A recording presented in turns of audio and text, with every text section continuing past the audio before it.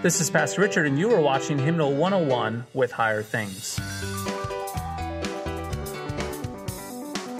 Let's talk about the divine services. Yes, those divine services that we do from our hymnal on Sundays in our churches. What exactly is going on with the divine service?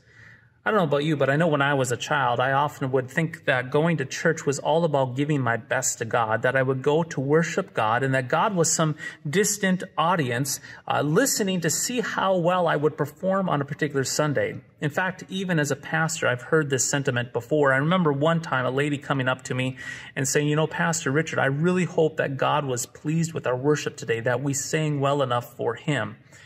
You see, what's going on here is this, is that kind of thinking sees the speaker being the parishioner and God is the audience. If you will, the arrow goes from the pew to God. The arrow is all about going this way towards the altar, towards the front.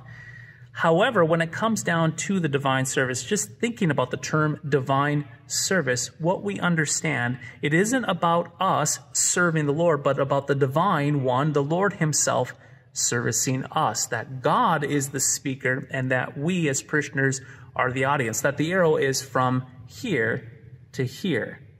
Uh, I came across an article the other day from a church. It was actually from a Lutheran uh, uh, church itself, a worship committee. And here's what they say on this subject. It's just so profound to share with you. It says this It has often been taught before that we speak to God in our worship, that we summon his presence and offer him praise.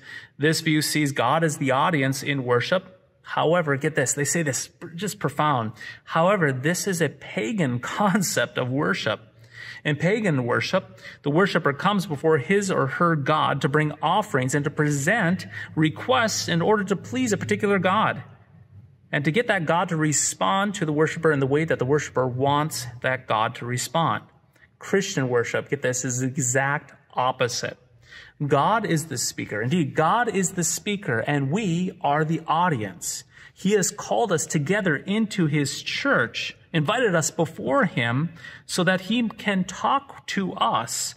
Both in the Old and New Testament, we hear this as well, that God speaks. It is central to the gathering. God speaks and we listen. Through his word, the Bible, God shows us his character and his works. He speaks to us about our sin and he speaks to us about the forgiveness of that sin in Christ Jesus.